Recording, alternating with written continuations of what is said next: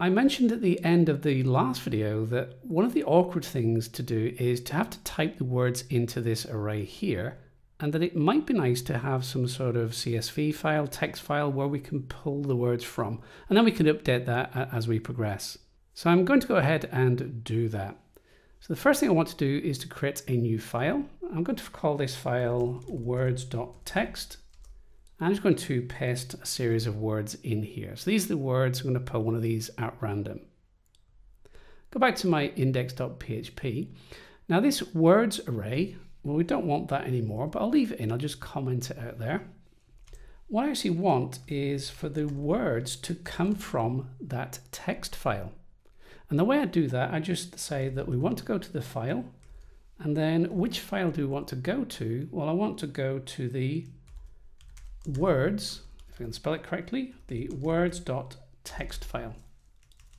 Now what that's going to do is just going to open that words.txt file and then I want to grab a word at random from that words text file. So I can actually leave this in here. I'll then echo out the word and then I'll echo out the underscores.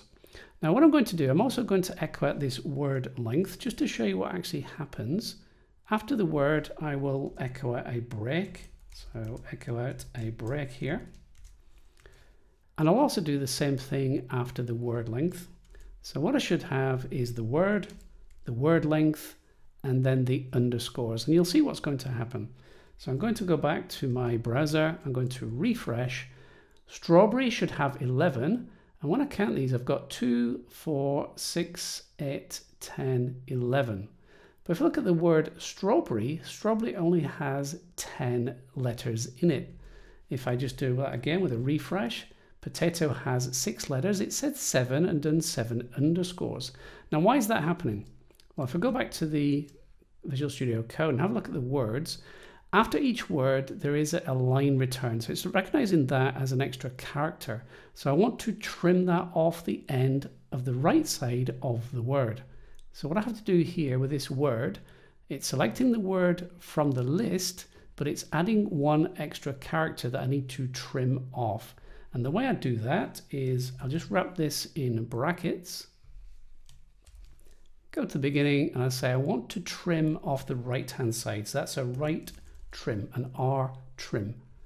Now if I go back and I refresh, we've got cabbage. It does have seven letters, seven letters and we've got seven underscores. I'll refresh again. Orange has six, six, and six. So now that is working correctly. If you found this video useful, then remember to give me a quick thumbs up.